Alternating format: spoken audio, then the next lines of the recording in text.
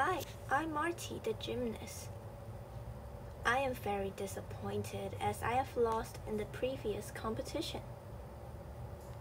Marty, I know you lost in your recent competition.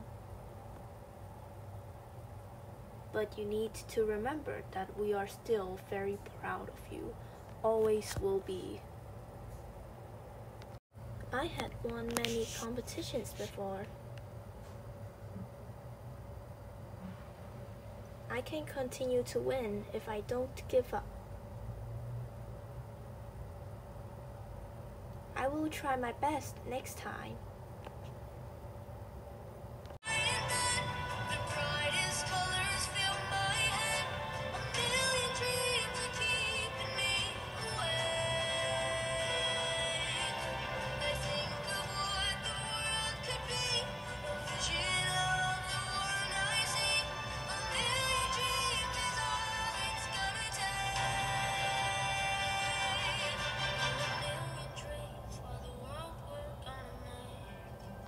Marty, you did amazing as usual.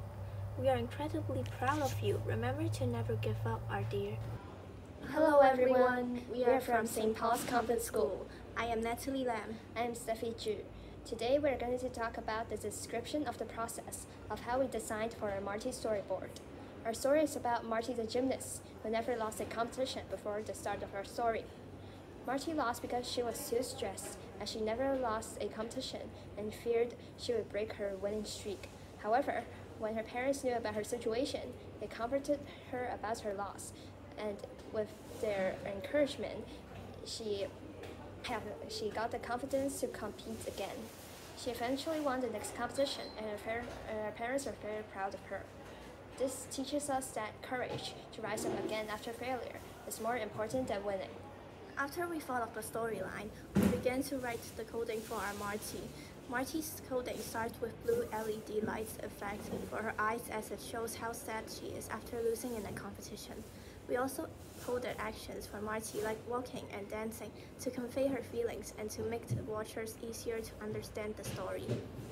We also added a song, A Million Dreams, during Marty's last competition because we think it really pairs well with the storyline and how Marty is able to succeed when she believes in a dream and has the courage to stand on stage. This, this is the end of our description. Thank, Thank you very much.